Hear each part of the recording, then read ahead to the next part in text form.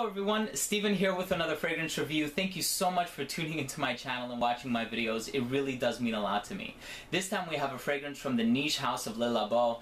This is their Dubai City exclusive. I believe it's been in the works now for about a year and a half to two years and it was just released in 2013. This one goes by the name of Cuir 28. Now released in 2013, the perfumer for this fragrance is Nathalie Lorson. Nathalie Lorson has actually done a couple other fragrances from the House of Le Labo, uh, one of them being Another 13, which is the Colette City exclusive, uh, made in conjunction with another magazine, and the other one being Poivre 23, which is the London City exclusive. She's also done Encre Noir from the House of Lalique, as well as Mandarina Ducks Pure Black. So this is her most recent composition, Cuir 28, and this is of course their leather-based fragrance. Now before I get into that, I know I mentioned the phrase uh, city exclusive a few times already in this review. What that means is that Le Labo as a company has, uh, it's an international brand and they have boutiques all over the world. So for every boutique that they have, they make a fragrance that is only available at that boutique. So then the only means of acquiring that fragrance would be to actually visit that physical location and purchase it yourself, unless of course you're fortunate enough to know somebody who lives in that city and they can buy it and mail it out to you. Now, generally as a company, Labo does not accept phone orders or online orders and this is their Dubai city exclusive of course located in the United Arab Emirates so you would actually have to fly out there in order to uh, buy this fragrance. Now, as a company also does have a city exclusive event which happens every two years. So uh, for a six week period, this year in 2013 being from September 1st up until October 15th, they make all of their city exclusive fragrances available all around the world. So you can buy them at any uh, Le Labo boutique across the world. And that's how I managed to get my hands on a 50 ml bottle of Cuir 28 uh, retailing for $295. Now, of course, the name Cuir 28 it's uh, French, it translates to leather 28, so this is of course a leather-based fragrance, and I think it's the only other fragrance from the House of Le Labo that features a prominent leather note, uh, with the other one of course being Santal 33. Now, the name of this fragrance 28 indicates that there are 28 ingredients in this fragrance, leather of course only being one of those uh, ingredients. Now, generally with Le Labo fragrances, the name of the fragrance does not necessarily indicate what the fragrance is going to smell like. Um, that is of course going to be the most concentrated note in the fragrance. However, in many cases I found that it really is just a note that serves in the background and it's not necessarily the forefront of the fragrance. I'll let you know if that's the case with this fragrance and I'll let you know if I think this fragrance is worth the city exclusive price. Next up, let's take a look at, the presentation for Cuir 28.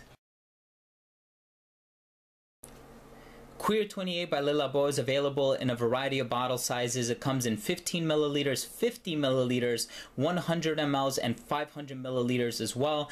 Uh, this fragrance is available in eau de parfum concentration, or you can actually buy it in a perfume oil as well. First up, we have the box, and all Le Labo boxes look the same depending on what size you get them in. Over here, you have the name of the company, their logo, you have the name of the fragrance up here on the top of this sticker here, where it was compounded, on which date, and for who. Now, Le Labo fragrances actually used to have a um, expiration date on their stickers. They've done away with that. And some more information down here at the bottom. Um, pretty simple presentation. Of course, it's consistent with this laboratory theme that they have going on. I think it's kind of cool. Some people find it to be tacky.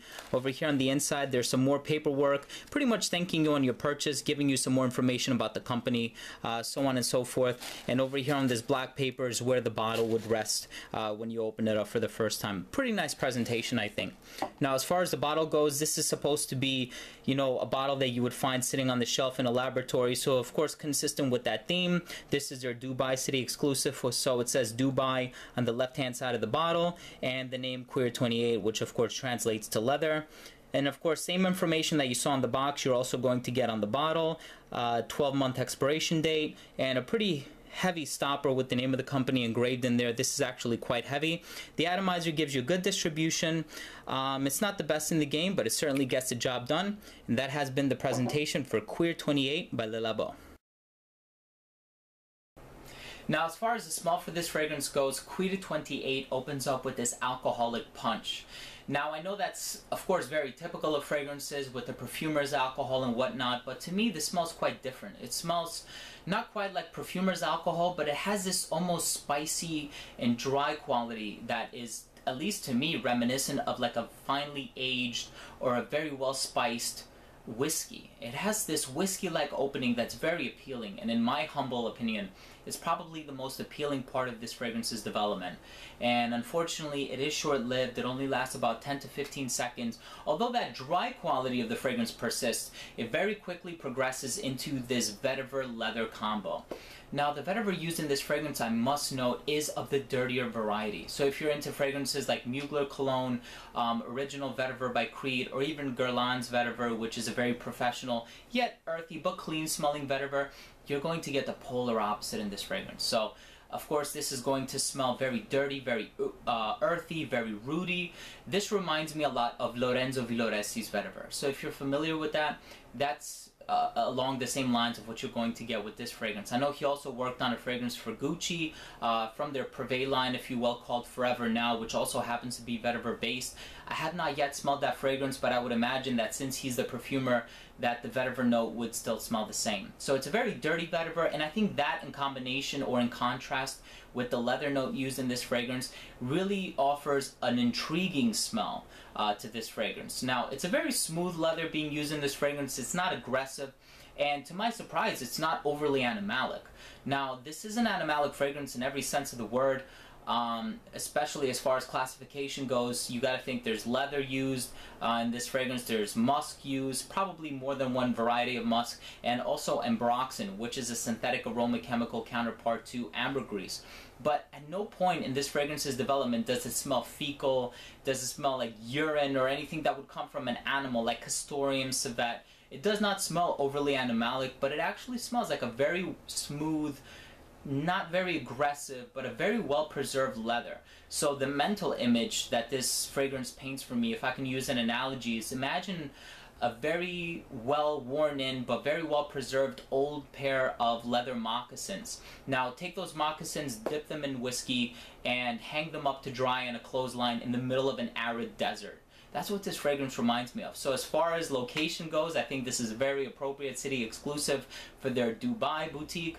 Um, but I don't think that this is a very wearable fragrance. Even in the dry down when the vanilla absolute note comes out, um, I don't think it ever pushes into gourmand territory. There's always this faint sweetness in the background, but that leather note is unrelenting. Now it's very smooth, which I think does increase the wearability by a bit, especially considering that it's not very animalic, but still a combination of leather and dirty vetiver just doesn't, you know, sound like a fragrance that I would wear every day. So casually, yes. Um, in the comfort of your own home, definitely just try to avoid a close counter scenarios with this fragrance.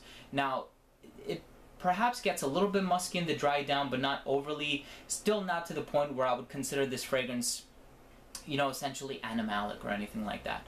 Now, overall, I think this is a very intriguing fragrance. I don't think it's necessarily going to live up to the standards of, say, a Poivre 23 or Baie Rose 26 or one of these other uh, Le Labo fragrances that have been widely talked about in the past couple of years. Um, but I think it is an intriguing fragrance, and being that it is a city exclusive and the availability or lack thereof, I think it is going to get a little bit of hype.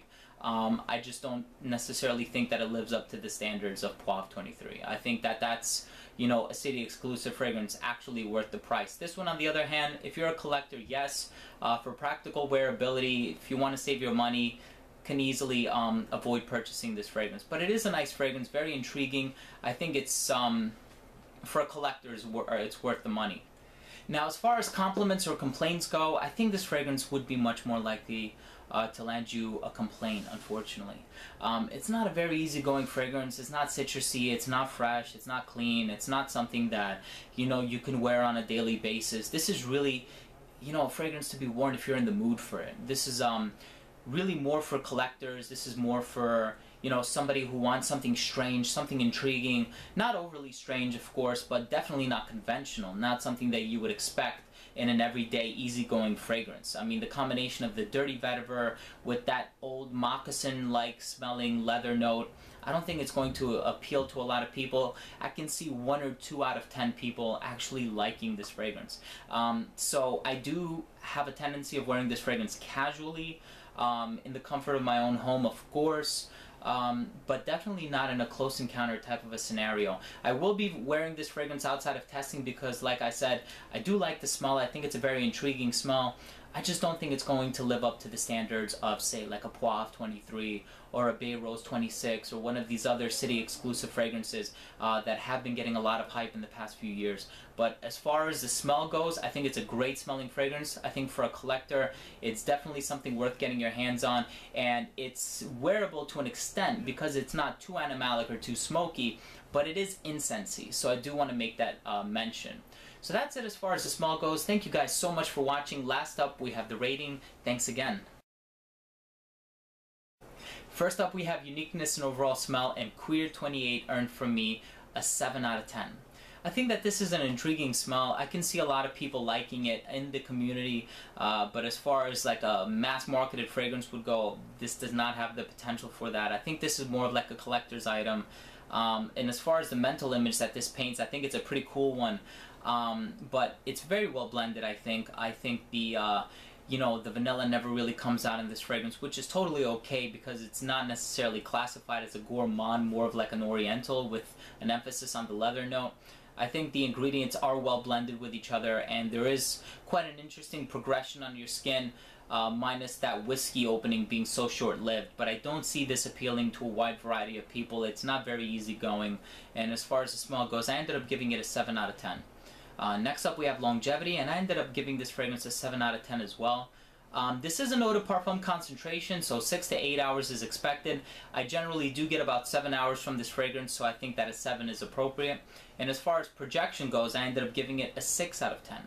Now, considering the compositional nature of this fragrance, you know, think vetiver, think leather, you know, all these very pronounced and strong ingredients, I was expecting it to be a projection beast, um, but it does sit a little bit closer to the skin, uh, much more so than I had expected or anticipated.